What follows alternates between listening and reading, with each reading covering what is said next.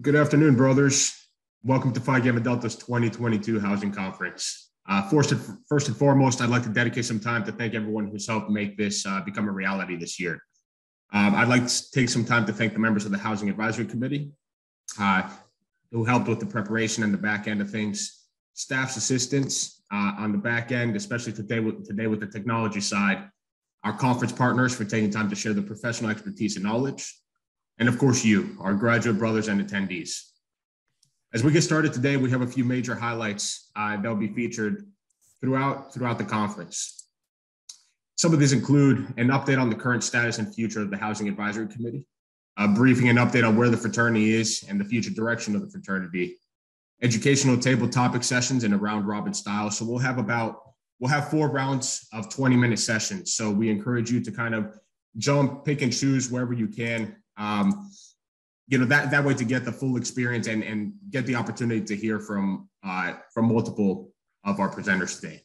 We'll have a vendor hall with our with our presenters to learn more and interact with um, our partners and learn about their services. And then lastly, we'll have an open discussion amongst our House Corporation members uh, to encourage you all to learn from one another.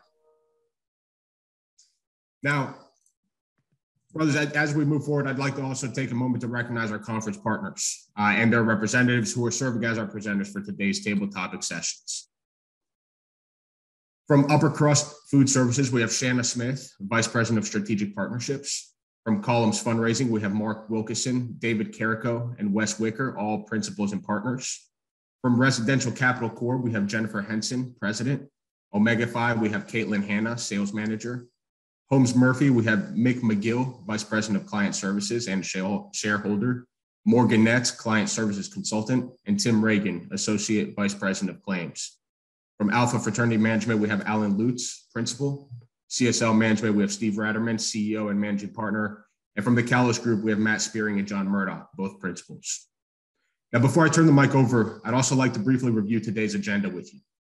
We'll revisit this after our conference's opening speakers, um, but I, would like to just take a moment to run through with it before we get started. So as you can see, we will have four separate breakout sessions. As we mentioned earlier, those will be 20 minute sessions in that round robin style. From 250 to 305, we'll have our vendor hall. Uh, take some time to jump around, learn and hear from our different vendors. From 310 to 345, we'll, we'll have our roundtable discussions. Uh, again, that, that, those will be the open discussions amongst our house corporate house corporation members to learn from one another and then we'll come together at the very end for some Q&A and, and our wrap up. Now, brothers, without further ado, I'd like to introduce our first speaker uh, for today. I'd like John Ziza, uh, Ohio, 1978. John currently serves as chairman of the Housing Advisory Committee. He previously served as a director for 1848 Properties Incorporated and as a member of 1848 Housing. John has previous experience on house corporations, serving as a board member and president of the Alpha Omega House Corporation at Ohio. Professionally, John is associated with IT Consulting and holds the titles of president and CEO of the ADgility Solutions Inc., located in Cincinnati, Ohio. John, the, the floor is yours. Thanks, Dio. Welcome, everyone. And, and thank you for not only participating today, but for the work that you do uh, every day of every year um, for our, our local chapters. Dio, can I have the next slide, please? Um, first, I think it's important to, to provide everybody with a bit of history. As you recall, this um, last year was our first um, annual housing event, and it was sponsored by 1848 Housing. And you'll notice this year's event is, is uh, led by the Housing Advisory Committee. So what's happened is, I'm going to go back a couple of years. Um, a couple of years ago, uh, the fraternity founded 1848 Properties, which was a legal entity separate from the fraternity to house assets of chapters that have closed and to protect those assets and preserve them for those houses when they, uh, when they decide to come back on campus. As we worked as a group and worked with different house corporations, we started getting questions about house operations and we started advising um, as 1848. We started advising those house corporations. Well, um, just like BCAs and house corporations at the local level, it's important for the national fraternity to separate 1848 properties, which, uh, which holds assets for closed chapters from advisory roles that the, that the fraternity provides. Thus, 1848 housing was created, and that was a blend of existing uh, 1848 properties uh, board members, as well as additional members um, and an archon. And that group was structured underneath a national fraternity so that we were covered, if you will, under the umbrella uh, to be able to advise uh, chapters. Uh, over time, 1848 um, began branding itself, if you will, and it just it was just kind of uh, an event that just kind of happened um, over time. And 1848 started taking on a life of its own and started branding itself maybe a little differently than than the fraternity.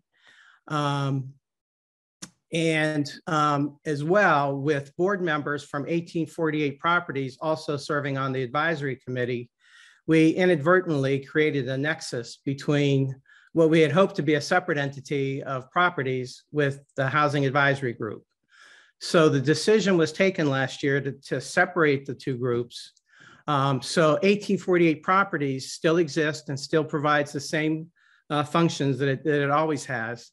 And 1848 housing was uh, reconfigured into the Housing Advisory Committee.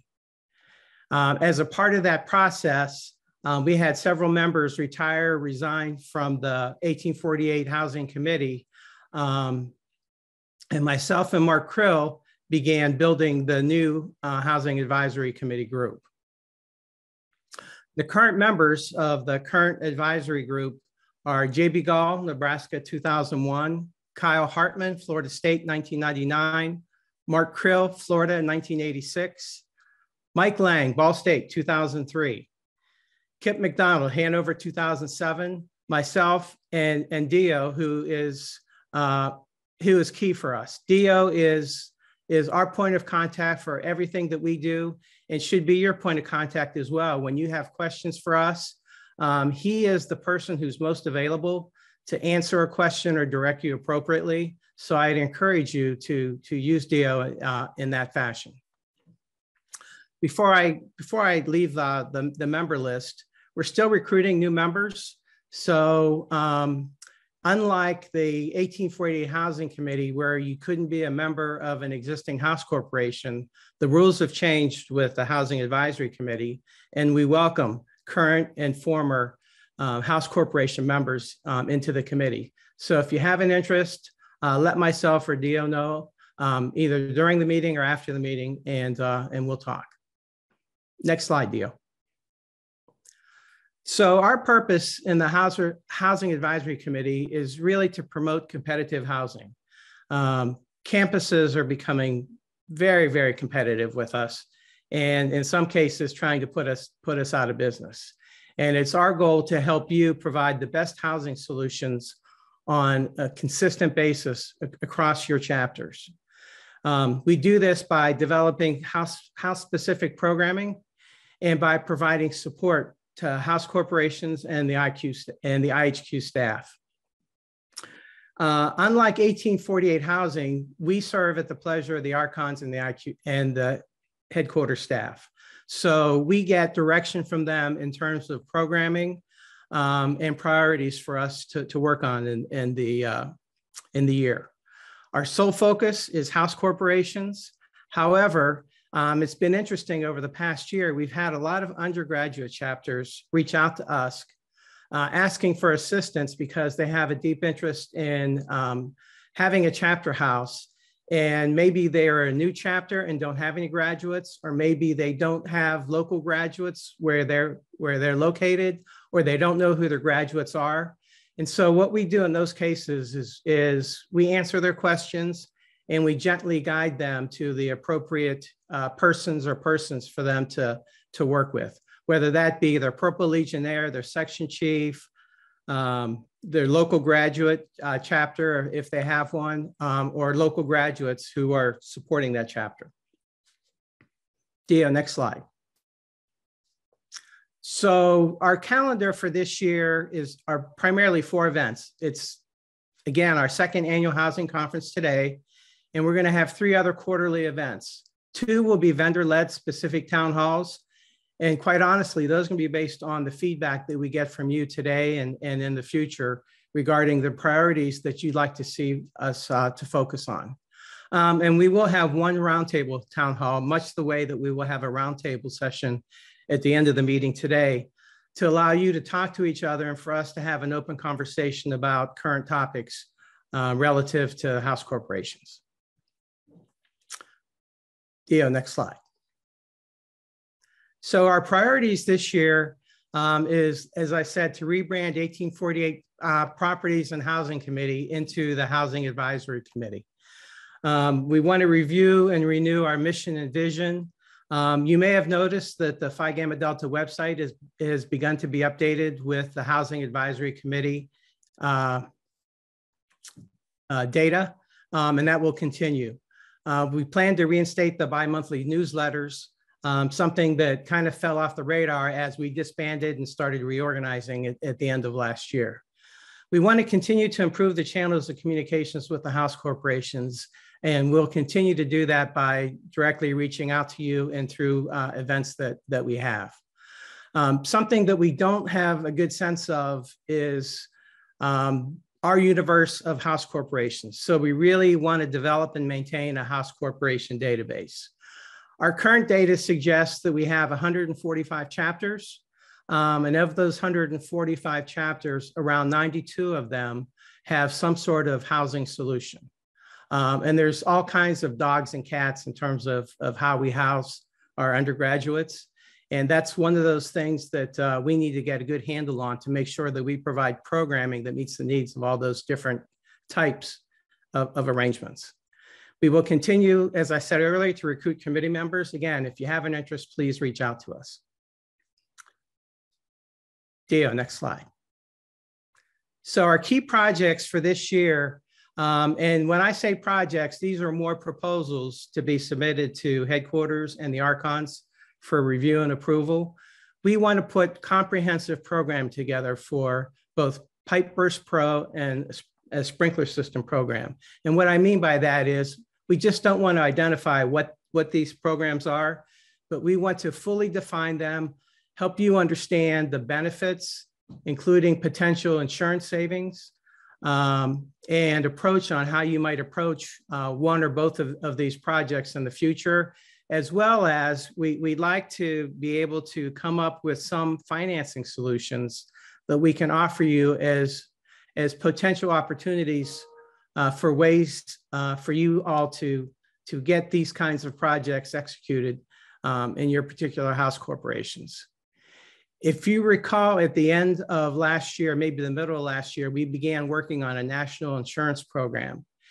And the more we dug into it, uh, the more we realized it was a bigger undertaking than we were prepared or capable of handling at the time. So at this time, the National Insurance Program um, is on hold.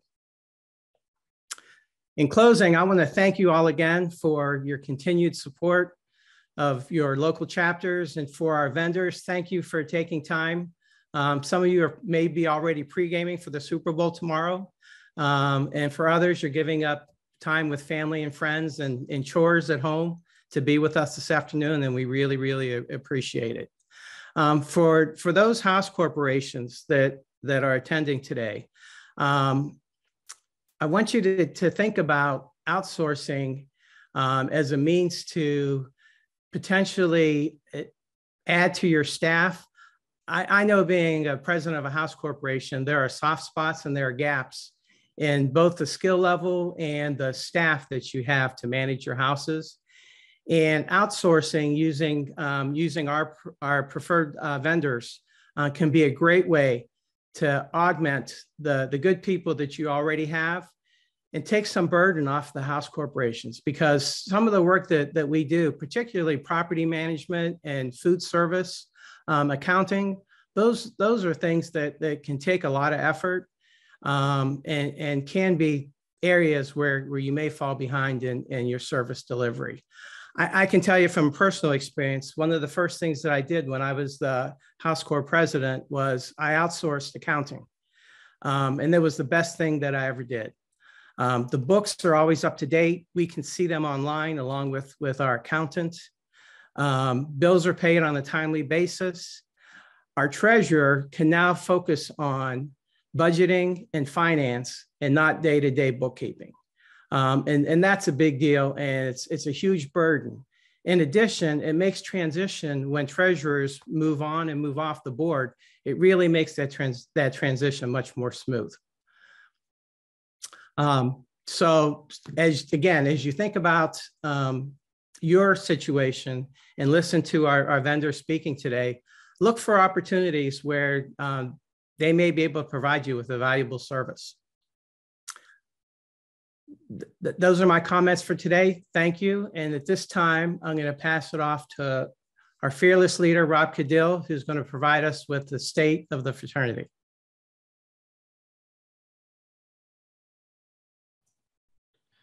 Thank you, John.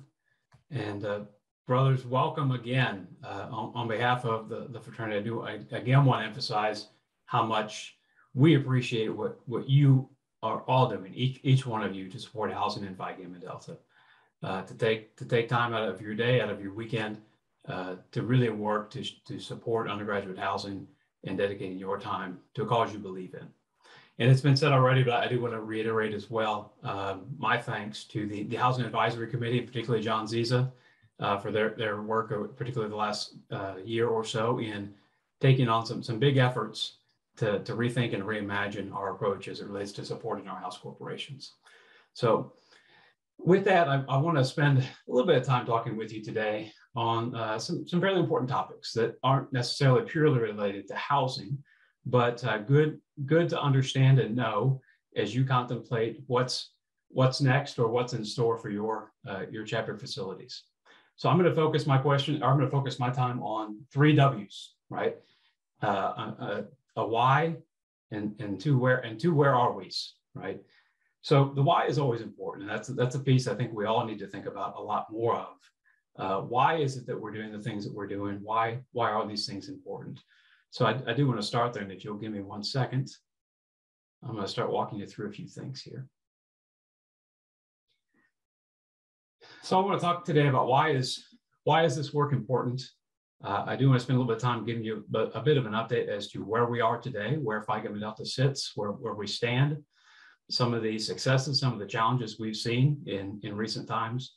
Uh, but I think most importantly, and most importantly for you as, as graduate leaders in the fraternity, uh, start to help you see and understand where we're going as, as an organization. So now I assume you're here because you had uh, either you had or you believe in the importance of the fraternity experience, right? You have fond memories uh, of your undergraduate experience, your graduate experience. And see, the interesting thing is that for many, many years, we've been in the position of believing this. Many of us believe that wholeheartedly, right? But it's been tough to really show it, right? Or show in a, in a real in a pure way, in an empirical way. So we are now in a position uh, more recently that we can we can take that position and more empirically prove some of the positive impacts that fraternity and the fraternity experience has on undergraduate men in particular. So the why, and I'm going to share with you a little bit of interfraternal research, right? Uh, the why. Research proves that fraternities foster positive mental health, serve as a success accelerator for students, and engender tremendous loyalty and connection uh, among alumni to support their alma mater, right? That's a phrase you might have heard me say before uh, if you've listened to me in the last, I don't know, six or eight months. Uh, and a phrase I'm sure you're going to hear a lot more. And, and there's a reason for that. We're, we're, trying to, we're trying to help everybody to get that to stick. Phi Gamma Delta has been working hand in hand with our interfraternal friends uh, and through the North American Interfraternity Conference, the NIC, to undertake a number of research projects to start to really truly understand the, the benefits and, and proving the benefits of the fraternity experience, as well as identify our shortcomings and better understand how we can address those. So we certainly believe that there is tremendous experience, er, tremendous benefit to the experience, and this is only the beginning of the research. So what I'm, what I'm going to walk you through are kind of three key areas of findings, and understand that these are based on about five or six different projects. And I'm just encapsulating uh, key thoughts in, into these categories. And I'll, I'll, point to a few of the specifics and show you where you can uh, where you can learn a bit more if you're interested. So the first area, right? One of the, one of the interesting things we've that we've found over the last uh, 12 or 18 months, uh, which really isn't surprising when you think about it, is that fraternity mem- the fraternity member experience uh, fosters stronger mental health and wellness, right? So while, co- while college men are experiencing loneliness and depression at increasingly rates, fraternities empower students to create a strong support system. This family, this home away from home, that fraternities provide offers connection and can create a strong sense of belonging, uh, leading members to have a more positive mental health and less anxiety and depression. Right? These are all important things. Let me share with you a few key, key items that have come up in the research. Um, by, by measures I won't get into the, the full explanation of, right? Fraternity members do, empirically proven, do uh, report higher levels of positive mental health and have less depression or, or anxiety than their, uh, than their peers, than their unaffiliated peers. Um, so that's, that's, that's a real positive thing to see. And you start to think, well, why is that? Well, there's, there's some things we're going to come back to on that. In addition to that, nearly 80% of fraternity men report excellent to good mental health and well-being, another positive sign. Here's, here's some of the why and some of the things we've been able to, to uh, pull out of here as well. And that when members really seek help, help, they're twice as likely to turn to a brother uh, than anyone else. There is that built-in support network that fraternity fosters, and uh, our members tend to believe that that good that good support systems exist uh, not just within their chapters, but on their campuses. And they tend to be more connected to those networks to get help when they need it, right? So that's uh, that environment where members can have those tough conversations and really, really be there for each other for those, those personal issues that may arise uh, is, is really beneficial in the fraternity experience. We've also come to learn that fraternities are what we call an excess, a success, success, excess, Success Accelerator, say that three times fast, uh, both in college and beyond, right?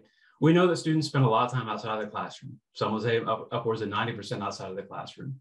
And fraternities really capitalize on those hours by preparing men for success in college and in their futures far beyond what their peers experience. Now, these results in particular, most of these uh, go back to a key study conducted by Gallup uh, fairly recently, and which actually was was actually uh, conducted back in 2014 and then replicated. So we're seeing these good results over time, which which makes a stronger case for us uh, again. But this study, which included thousands and thousands, about 14,000 uh, alumni of diverse backgrounds, uh, shows that uh, this this assumption really does hold true, regardless of an individual's background or socio socioeconomic status entering into college. So some key takeaways from that. 83% of members, 83% of fraternity members indicate stronger leadership confidence as a result of their fraternity membership. They come out of that experience much, uh, much more able to tackle the world and, and take on leadership roles uh, after college, which is an important thing uh, that we look at. We also know that fraternity members show significantly higher learning gains than their peers in their first year of college, right? That's important when we think about that we think about uh, the different ways uh, that, and I should, I should say that learning gains are measured in, in more ways than just GPAs, right? But um, when, when men are in, the men, men in particular in, in their first year of college, uh, those gains are significantly higher when they're uh, included in fraternity membership. So there's there's something right there about, uh, particularly in those early phases, getting engaged and, and having a group to really help you uh, be accountable and focus on your college work. And despite being less diverse than students in general, fraternity and sorority members do report higher levels of interaction with people different than themselves than do other students, right? So we, we know that there's been a lot of talk uh, and, a lot of focus and a lot, and a lot of needed discussion around uh, diversity or lack of diversity uh, and equity and inclusion concerns in some organizations. But as, as we think about the why behind that, it's, it's a different world that we're getting into, right? And we know that, that our, our students, our men and, and our women as well, uh, when they come out of the fraternity experience, they are more accustomed to having those interactions with people who are, who are not like themselves, which also better prepares them for the world uh, in front of them. Uh, moving on a little bit, and just to give you a few more key stats and, and, and things to feel good about. We know that fraternity alumni are twice as likely to feel that their alma mater prepared them for life after college and that they gain important job related skills. So put, put your professional hat on here for a minute, you know, scanning the, scanning the Zoom screen. Uh, I'm making the assumption many, many of us here are in a position where we, we hire uh, folks. You, hear a lot of grumbling about how prepared students are for college today. As we think about the fraternity experience and, and the importance of some of these things, um, really uh, really being able to instill good people skills soft skills those things that, that uh, when you're hiring you love to see but are hard to can be hard to teach is very important uh, going into the future here as well. We also know that fraternity alumni or graduates are twice as likely to, to feel that their alma maters prepare them for life after college right? And uh, they're they're more quickly finding jobs after graduation. They're more engaged in the workplace. So overall what this is starting to show us is that fraternity membership, uh, men and, and women who have graduated from college, after, so after college, those first several years, they are more likely to be thriving in, in every aspect of well-being that Gallup uh, studied. Uh, that's related to career, related to community, uh, financial, physical, and social well-being. In every respect, members of fraternity and sororities are in, in a better position and they're more likely to be thriving than their non-affiliated peers. This is important for us to understand and know you know, the last area is that uh, we, we also know and we believe that fraternities create lifelong connection to the campus, the community, and their peers, right? Those things that we, we feel uh, and, and, probably could exhibit for uh, the last several years. We know that our members are more engaged inside and outside the classroom than their peers, and that they report feeling much more connected uh, to their faculty, which is an important uh, sign of learning, and nearly half serve in leadership roles across campuses, right? But beyond just the campus connection, we also know that fraternity and sorority membership uh, helps these students be more connected to their local communities, and they spend significantly more time volunteering than non-affiliated students. Some of the key stats that come out of this, 75% of fraternity members demonstrate a strong satisfaction, a strong satisfaction with their overall student experience. So they come out of school saying this was, th this was, this was important for me. And uh, as, as campuses look at, at different things and retention and their own alumni engagement, they certainly take notice of that. We also know that 78% of fraternity members feel a strong connection to campus and are overall more satisfied with their experience. Not shocking, right? Fraternity members are more involved in, in co-curricular, extracurricular activities and, and membership that ultimately promotes student leadership and development, as well as satisfaction with that experience. Yeah, we talked about that one. And I, I, don't have the exact numbers in front of me, but again, um, we recognize these are, are, are generally generally well known and assumed, but can are proven. Uh, fraternity members do spend significantly more time volunteering, mentoring, and doing other types of service work. You know, they're really embodying in, in our world, they're embodying that value of service and giving back to the local communities. And over, overall, they are, are much more engaged. So I think you know the, the kicker there beyond just the the engagement factor is you know it really helps to build uh, not just good members, not just in our case good men, but good good world citizens, which I think is an aim of, of all organizations like ours. And I think the the kicker that I don't have uh, up in here in front of you here, but uh, one of the interesting questions that was posed or key findings uh, came out of that that said if they had to do it, oh, if they had to do college all over again, so this is alumni after they graduated, if they had to do it all over again, more than eight out of 10 fraternity members would rejoin their organizations, right? So that, that's a sign, that's a sign of overall, overall positive movement as to how things are going within fraternities and sororities. So what I want to talk about now is, uh, you know, we, hit on the why, right? Why, why do we do the work we do? Because we believe in, in the positive fraternity experience. I certainly do. I assume that, that you do as well, or you would probably not be doing, uh, doing what you're doing today. Um, but I want to talk about a little bit what, where we are now and then where we're going next. So where we are now, a few items just, just by the numbers. As it stands today, this minute, updated this morning, uh, Phi Gamma Delta uh, has just over 9,500. In fact, it's 9,501 is the exact number. Undergraduate members uh, on 145 campuses across North America. How does that compare? I get that question a lot. Um, every year, there's an annual survey uh, uh, done, facilitated by a, a, professional association for fraternities. Uh, so in terms of overall membership, Phi Gamma Delta ranks about ninth, so in, in the top 10 out of about 60 plus uh, men's organizations, and um, overall 14th in terms of number of campuses. So Phi Gamma Delta, by and large, has much, has much larger chapters, average chapter size than, than a lot of our peers, uh, but still, uh, still holding our own in, a lot of respects. But we know the undergraduate experience is only a small part of the overall fraternity experience, right? So to keep adding those numbers, Phi Gamma Delta today, 132,000, it's actually about 132,400-ish living graduate members. Uh, and uh, we, we actually passed a milestone not that long ago, uh, but as it stands today, 203,000 uh, 203,000 initiates over the last 173 years. So 203,000 men have joined Phi Gamma Delta. Of those 132,000 living graduates, uh, we, we know that we have about 1,800, uh, about 1,800 brothers who serve in various volunteer roles, right? So that's everything from House Corporation members and Purple Legionnaires and section chiefs and BCA members like, like we have on the call today, uh, as well as uh, brothers in other roles from various fraternity committees, uh, archons and appointed general officers. So about 1,800 brothers, uh, at least in our records. Uh, so probably more out there that we, we don't we have not heard of yet, uh, are, are actively giving giving their time to Phi Gamma Delta, which is which is fantastic to see and a great embodiment of our, our motto of being not for college days alone.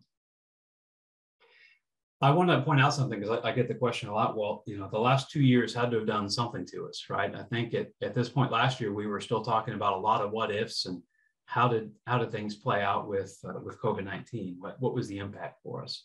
Let me let me show you a little snapshot of the past. Uh, I think it's about six or seven years.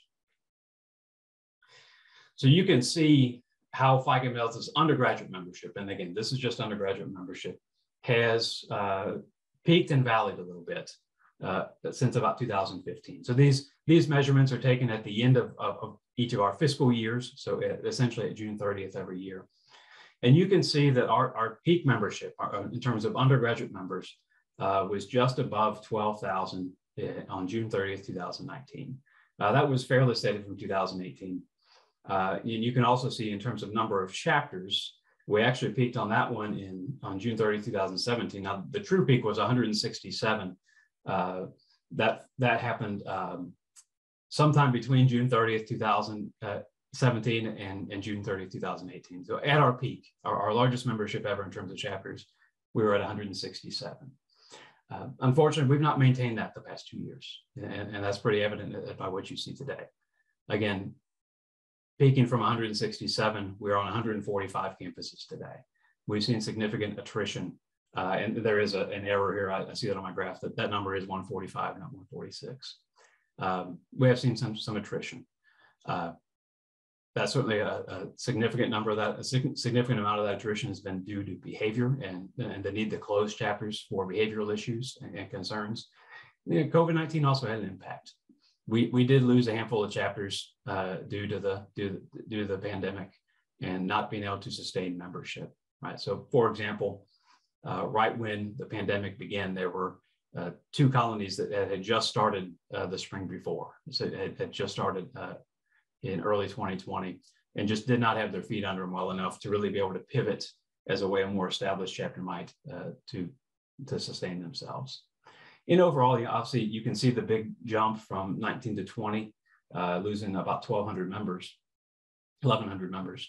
Um, some of that is attributed to chapter closures, right? There were some, some chapter closures during that time, uh, behavioral, not just COVID-19, but behavioral. Uh, but, but, you know, on average, on average, chapters did, did lose some members throughout, throughout the pandemic. Some, there were some winners and losers and all that. Uh, I think when we sorted it all out, we, we attributed probably about a 10% membership hit uh, to the pandemic. Uh, though that's that's that's I would not call that a hard stat. There, there's a lot more that would need to be sorted out to, to fully understand that.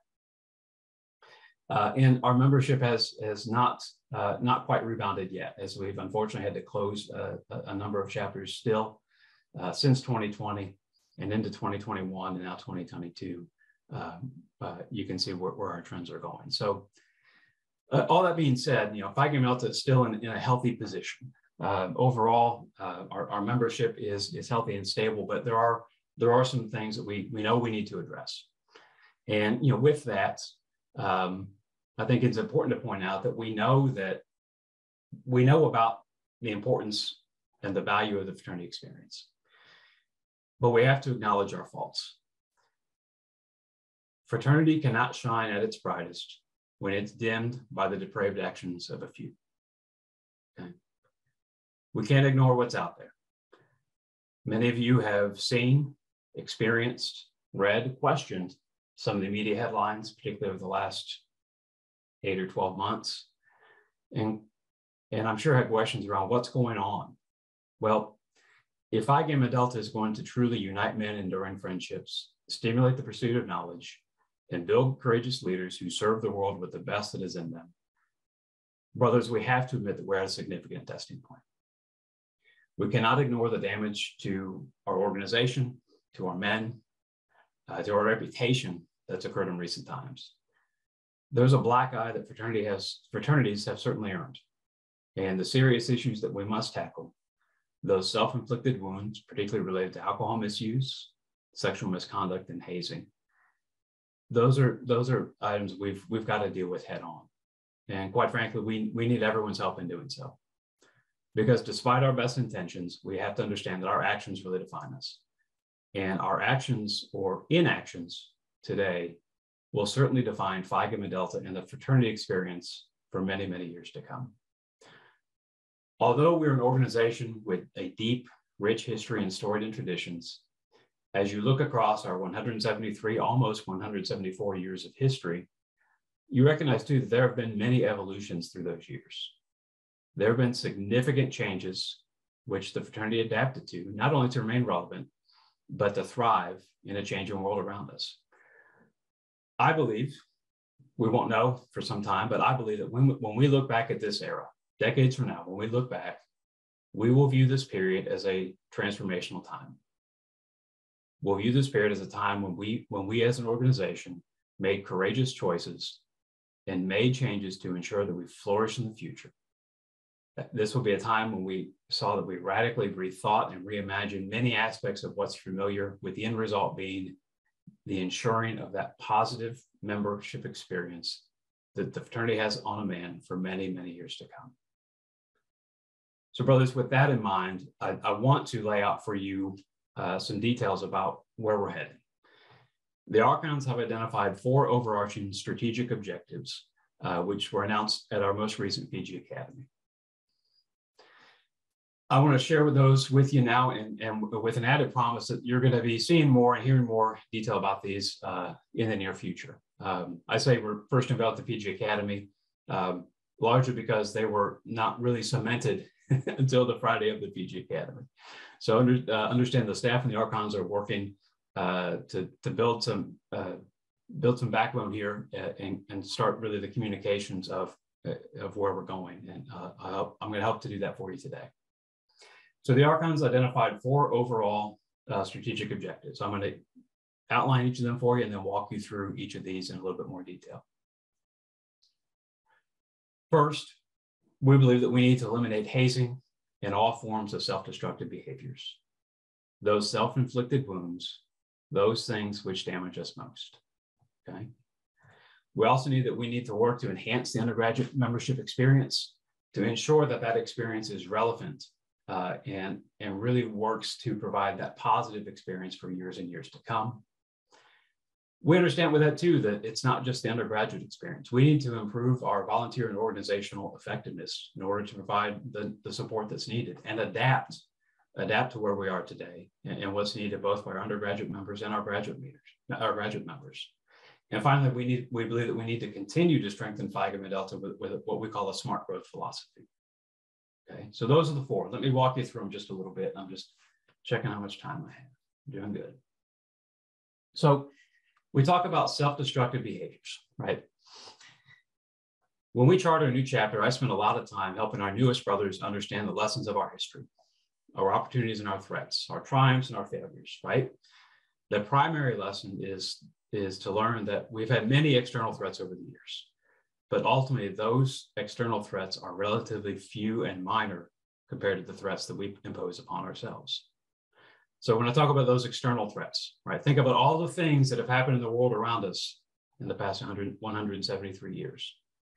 We've endured world wars, economic collapses, significant shifts in higher educations, now more than one global pandemic. Uh, history shows us that we persist and oftentimes come out stronger than when we started Uh, looking at each of these events. But there are a number of internal threats, those self-inflicted wounds, behavior, stubbornness and unwillingness to change. Those threats, those things which we do to ourselves have a much more significant and deep impact on our membership as a whole.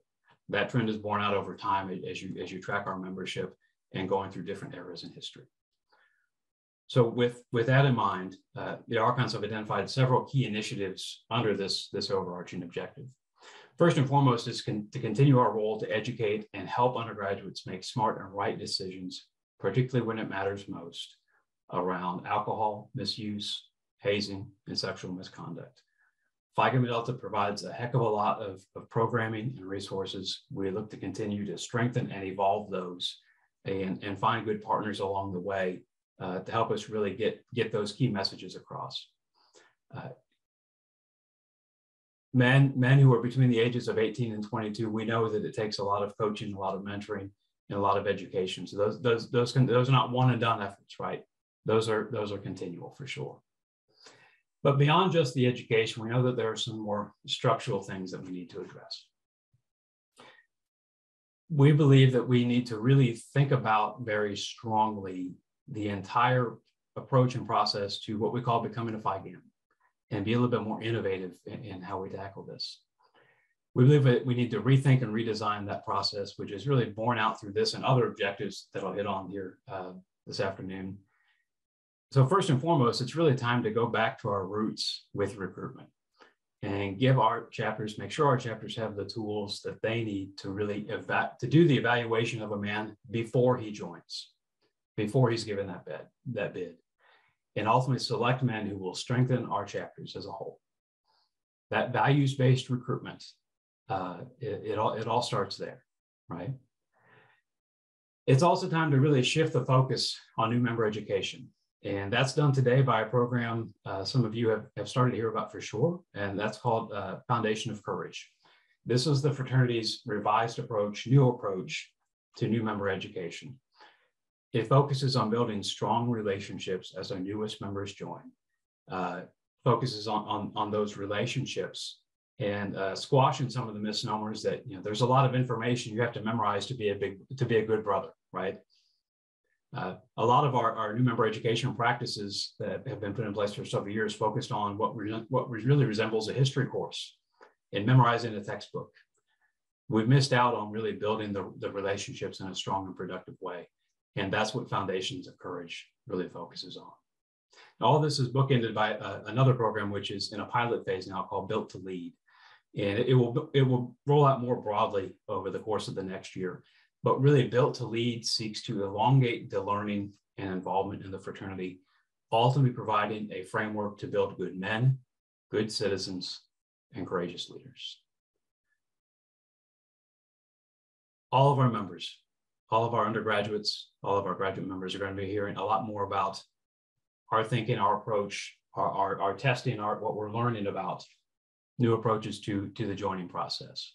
We believe this is one, one of these areas that we, we have to tackle hard and have to make some big strides in to modernize and match where we are today.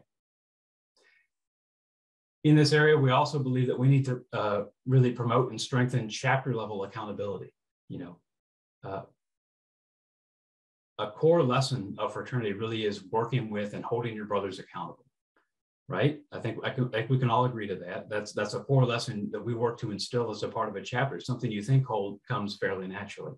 But all, all of this we're talking about is fairly moot. All of these these efforts to mitigate the bad behavior is really moot if our undergraduates are not willing to challenge one another to live by our values and prepare them for life after graduation. So we need to work to be a little bit more intentional and to really support uh, and, and help our undergraduates be bold in having those tough conversations with each other.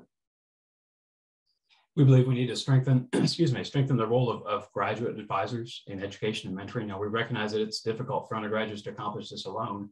So we need the help and, and support of our graduates who are involved with our chapters. And more importantly, we, the international fraternity, need to make sure that we are providing the tools uh, that those graduates need to be fully equipped to help our chapters succeed in those efforts. in, in all this, we, we recognize that uh, Phi Gamma Delta archons, staff, and key graduates, as we talk about today, that we're, we're not the only ones with, with skin in the game, um, and, and, not the only ones who have influence. So we, we, need to work to better engage and active, actively engage parents to leverage their role in promoting these safe and healthy environments as well. Our next objective is, is again, talking about um, continuously and actively working to enhance the undergraduate experience. You know, so first by eliminating those self-destructive behaviors that we've talked about, but, but also proactively working to promote and, and accentuate those positive experiences and membership outcomes that we know exist. So in this, we recognize that building courageous leaders is at the center of that undergraduate experience, right? That comes out particularly in that program I just mentioned, Built to Lead, uh, which is designed to create a resume-worthy four-year leadership program based on those building courageous leader principles. Again, that, that program in pilot phase is set to be offered and available to more chapters throughout the coming year. And we're going to need your help. We're going to need our graduates' help uh, to attract our undergraduates to, to this idea and, and help get some buy-in. Uh, it takes a little bit of work, uh, but ultimately, ultimately puts them in, in, a much better position down the line. Know, and, and in that, it's not just focusing on, on the overall leadership program uh, uh, around those principles, but emphasizing those and how do we best emphasize those to our elected officers and educate and, pre- and prepare all influence, all influencers at the undergraduate level, all non-elected cha- chapter leaders, right? Those informal influencers to really prepare them to be bold. We recognize that we need to anticipate our undergraduates' expectations and their changing expectations and respond accordingly. You know, we've we have we have systems in place where we're, we're beginning to better understand what our undergraduates really want and need and ultimately we'll work from there to provide tools for our chapters to adapt and thrive in this changing environment around us we believe that an, important piece of the undergraduate membership experience is to promote inclusion which is really a core tenet of our value of friendship and, and also increase diversity within Phi Gamma Delta to reflect our host institutions, right? Um, if you weren't aware, if you had not heard, uh, Phi Gamma Delta did commission a, a, diversity, equity, and inclusion committee, which sent back to the Archons a number of recommendations, which we are beginning to implement today. Uh, those efforts are encapsulated in a couple buckets, right? Uh, how do we best educate our members on the importance and the value of diversity, equity, inclusion, and belonging in our chapters? how do we prepare, or I'm sorry, provide undergraduate and graduate focused resources to assure that success? How do we create the structures and responsibilities in our chapters to really support inclusion? Again, I think so inclusion is, is the big piece here uh, because ultimately it's to support that inclusion, which lends itself better to diversity, equity, and belonging down the line. And again, all this is, is, a, is a mechanism to better reflect the world around us as we sit, as we look at it today, uh, Phi Gamma Delta is assumed to be roughly, uh, uh, I'm sorry, our undergraduates, because we have the data, uh, roughly 80%, 20% uh, non-white, non-Hispanic. The widely uh, cited example for college campuses as a whole, and this varies significantly campus to campus, as it does for our, our own chapter to chapter, is that 40% of students are non-Hispanic, non-white, right? Our goal is to better better resemble our host institutions and the world around us, and to put those processes in place to break down barriers and, and be a the inclusive organization that our value of friendship really commands us to be. Uh, other, other items in this area is to create and promote new opportunities for chapters to give back to their campuses and community through service and philanthropy. Admittedly, a lot of our chapters do this really well. Some of our chapters struggle and the pandemic has thrown this all for a loop. So we've got a lot of chapters learning from uh, learning uh, from from scratch again. Uh, so it's it's really promoting those opportunities for chapters to really show what they can do be that be that big bold force and support the community around them. And we also believe that an important part of this undergraduate experience is, is supporting those improved housing standards by our house corporations, right? We know that the chapter house does not make the chapter, right? We understand that. Um, in fact, as, as John correctly illustrated earlier, uh, you know, about, about a third, a little bit more than a third actually of our chapters are not housed. But where, where there is chapter housing, we want to really work to ensure that those, those chapter facilities uh, are a good supplement and good complement to the fraternity experience, as opposed to the anchor that might be around the chapter's neck or in any, in any way detract from it. So it's working with the Housing Advisory Committee and ultimately house corporations to ensure we've got the, the tools, the standards in place uh, to have housing that really helps fraternity thrive. As we move, we move forward into the future, we also need to be sure that our supporting structure, and particularly our graduates who care so much and are willing to support our undergraduates, is right for the next 173 years. I think we, have got to recognize, well, again, uh, an organization steeped in tradition, we've got to take a hard look at, at, a, at, an organizational structure that hasn't made a whole lot of shifts or moves in at least 40 or 50 years, right? We've got to really assess and evaluate where we sit to be sure that we've got the right systems in place going forward. So a first step in here is, is to do just that, to review and adjust our organizational structure and roles, volunteer roles, responsibilities, and involvement ultimately to modernize and accomplish our most critical goals. How do we get the support there? How do we help the brothers who, are there to support our graduates? How do we help them uh, help our chapters the most and build us build the strongest fraternity we possibly can? We also recognize that we need to establish mechanisms for measuring effectiveness and success, right? It's not enough that roles are filled, but we've got to actively work to measure effectiveness and success, continue to adapt, thus better supporting our chapters. And let's not let's not let this point be lost. Make the graduate volunteer experience more fulfilling, right? It's not just checking a box or having having a body in a seat. How do we how do we make each of the roles and support each of the roles in a way uh, so that the undergraduate chapter receives what it needs and the, the graduate walks away saying, I did something good here. I can feel good about myself with this in all this, we know we need to work to amplify success. We don't we don't do enough to share successes that, that we all have, right? We've made we've made for an example, we made it a point uh, even in our, our weekly staff meetings. I say, tell me something good today.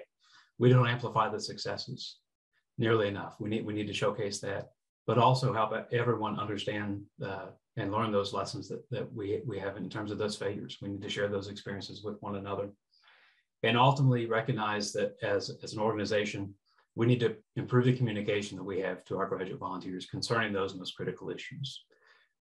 We need to be more clear, more direct, and, and be able to say, this is what we need, this is where we need it, this is why. We need you to help us with it. Brothers, to round us out here, I, I want to uh, finalize with our, our, smart growth. You know, growth is good, growth is healthy.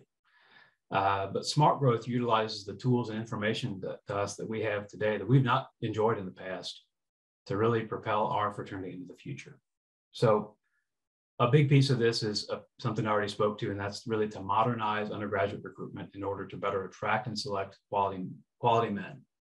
You might hear us start to talk about something called the growth system, right? Uh, that's that that's a system that's that's in the works and in place and, and, and rolling out today uh, that really does does all that. It leverages the technology available. It leverages a ton of tools uh, that undergraduates have available to them to make recruitment uh, uh, to make recruitment flow better, right? Um, to really be able to evaluate, do the evaluation that, that, that they need of membership and to ultimately attract the, the highest quality men possible. We recognize too that we need to use data-driven decisions to both grow, strengthen, and, and close our chapters and colonies. Um, there's a lot of information that we have uh, that can help us make those decisions even when they're difficult. But those smart decisions ultimately make us stronger in the future. And of course, we want to continue to expand the influence of Phi Gamma Delta using campus selection criteria that determine the best potential for success, right? We know we need to, to continue to grow, to add chapters, to bring chapters back that we've lost. But we've got to do that in, the right way and at the right time. Um, so it, it's it's continuing those efforts there and, and being uh, uh, being consistent in our approach in doing so, ultimately to continue to thrive and put Phi Gamma Delta in in the best position possible. Well, brothers, um, I again want to thank you for the important work that you are that you are already doing to support Phi Gamma Delta and your dedication to providing housing to undergraduate chapters. I do look forward to your assistance as we move the fraternity forward and work to ensure a continuing positive impact for many, many years to come. Brothers, with that, I'm going to turn it back over to either John or Dio to tell you about where we're going next. Thank you, Rob. Thank you, John. Uh, brothers, we'll share my screen real quick. So as we continue the conference, I encourage you to use your conference program. That's where you will find all the available links for all the upcoming table topics, roundtable discussions, and closing session. Up next, starting at 1, 110, our table topic sessions will start. You will have the option to choose from one of six available sessions. In the conference program itself, each of those sessions is listed under table topic four. Each of those links, uh, all the same links will be used for all four sessions. So please reference that listing um, for the next hour and a half or so. After that, we'll jump into our vendor hall where you all have the opportunity to jump around, ask questions, and freely engage with all of our conference partners and, and their representatives. Then we'll round out with some roundtable discussions, allow all of our attendees to jump into two groups, uh, those with facilities of less than 50 members, living capacity, and those with more than 50 members. Those discussions will also have members of the Housing Advisory Committee being a part of it to help facilitate um, and, and, offer advice um, and guidance as needed. And lastly, brothers we'll come together for, for a closing. We'll recap some resources available to you as House Corporation members or as graduate volunteers for local chapters. And we'll answer any questions that you all may have. So, brothers, thank you all again for being in attendance for this year's housing conference. Our next session will begin in about 10 minutes. So feel free to uh, look around the conference program, take some time for yourself, take a little break before we get started. Uh, but our next session will start in about 10 minutes. So thank you all, and we'll see you then.